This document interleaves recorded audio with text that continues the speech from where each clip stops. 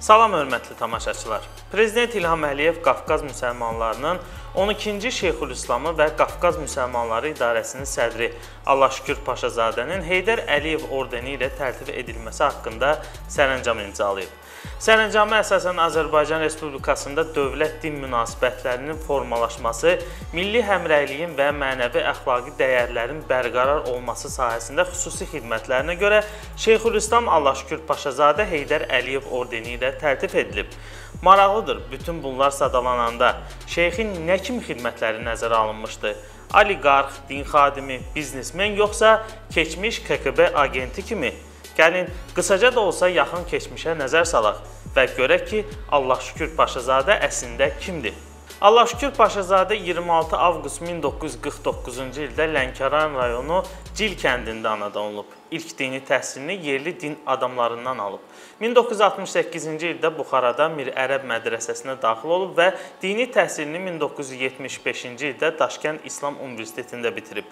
1975-ci ildən Qafqaz Müsəlmanları İdarəsinin məsul katibi, Təzəpir məscidinin axundu, idarə sədrinin müavini olub.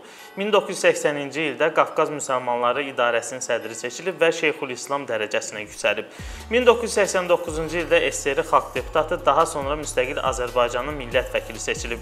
Bakı Dövlət Universitetinin professoru, tarix elmləri doktorudur. 1992-ci ildə Çeçenistanın paytaxtı Qrozny şəhərində çağırılan Qafqaz evi konfransında Qafqaz xalqlarının Ali Dini Şurasının sədri seçilib. Dünyanın ən nüfuzlu 500 müsəlman şəxsiyyətindən sayılır. 2003-cü ildə Şeyxülislamlıq vəzifəsinə ömürlük seçilib. Milli Azadlıq Hərəkatının fəallarından olmuş Azərbaycan Milli Dövlətçilik Partiyasının sədri Nemət Pənahlı Qafqaz Müsəlmanları İdarəsinin sədri Allahşükür Paşazadəni KQB-nin agenti adlandırıb.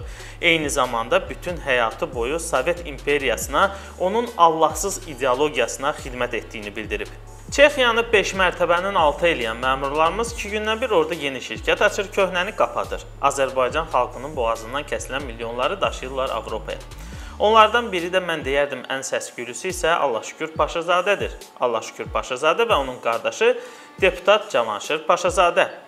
Çexiyanın mülkiyyət hüququ reyestrinin məlumatına əsasən qardaşlar Karlov Varada yerləşən Aynur KV şirkətinin sahibidirlər. Şirkət MMC kimi Karlov Vars Qrupova 2077 19 36001 ünvanında qeydiyyatdan keçib. Aynur KV qrupu avtomobillərin lizinqi və icarəsi ilə və daşınmaz əmlak alqı-satqısı ilə məşğuldur. Bu şirkət Karlov Varnın mərkəzinə baxan yüksəklikdə və regionda ən məşhur mehmanxana olan İmperial Otelin yaxınlığında Lübisina 2120-21-də yerləşir. Şirkət həm də 250 metr uzunluğu olan yaşayış kompleksinin də sahibidir. Aynur KV şirkəti daha sonra daha dəqiq desək 2018-ci ilin əvvəllərindən adını dəyişərək MP International SRO adı altında fəaliyyətini davam etdirib.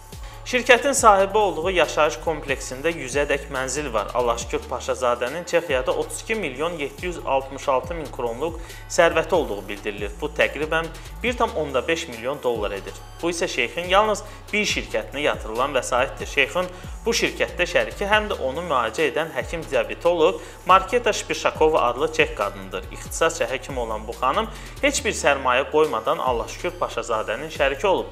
Bu qadının valideynləri isə 3 şirkətə sahiblik edirlər. Günlük müalicənin bir nəfər üçün 450-500 avro olan Bohemia Lazne sanatoriyasında isə İldə 3-4 dəfə şəkərli diabetdən müalicə alan Allahşükür Paşazadənin müxtəlif biznes sahələri ilə əlaqəsi barədə bu günə kimi müxtəlif məlumatlar dərc edilib. Əsasən ölkəyə ixrac olunan tərəvəz məhsullarının şeyxin inhisarında olduğu bildirilir. Şeyx bir qayda olaraq bu məlumatlara ya münasibət bildirmir, ya məlumatları təkzib edir.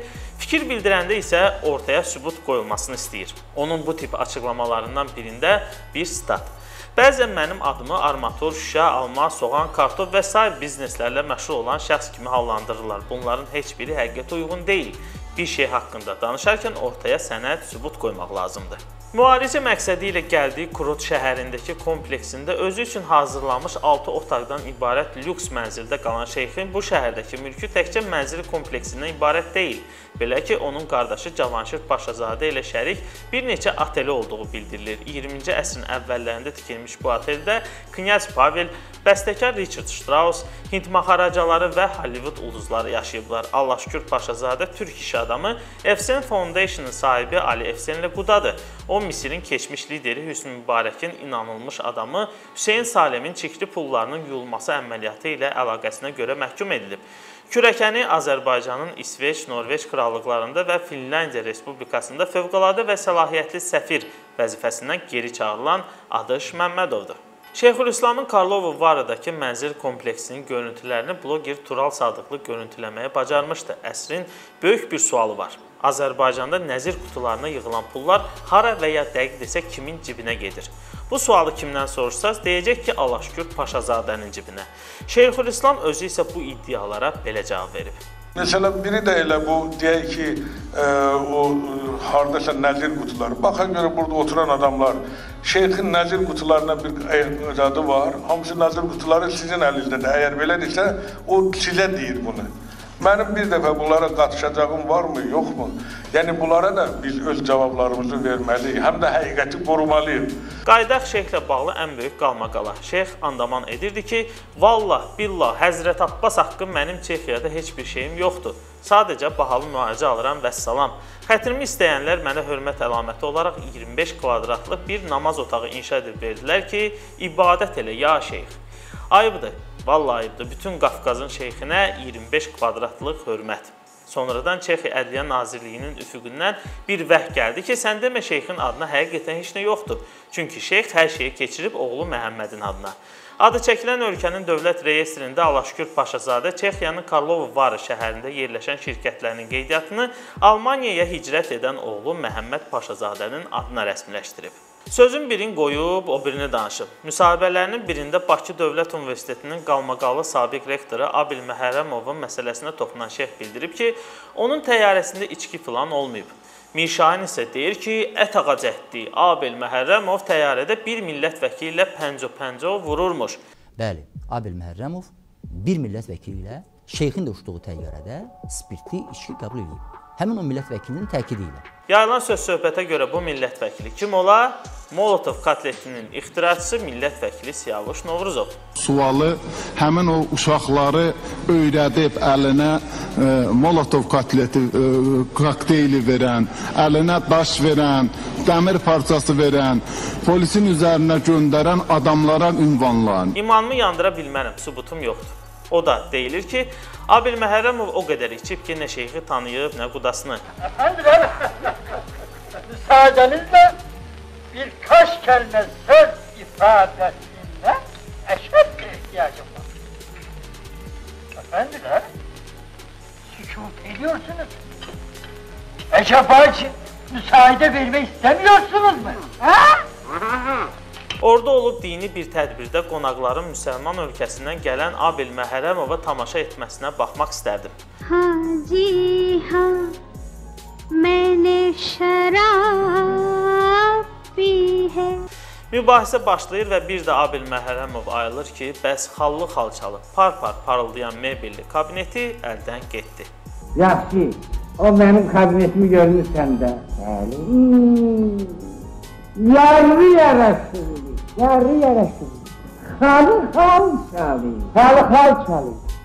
Yaxşı divan, divan, güneşli, güneşli. Par par parıldayan neydi? Par par parıldayan neydi? Onlar oldu? Dayı parılmamış, ha?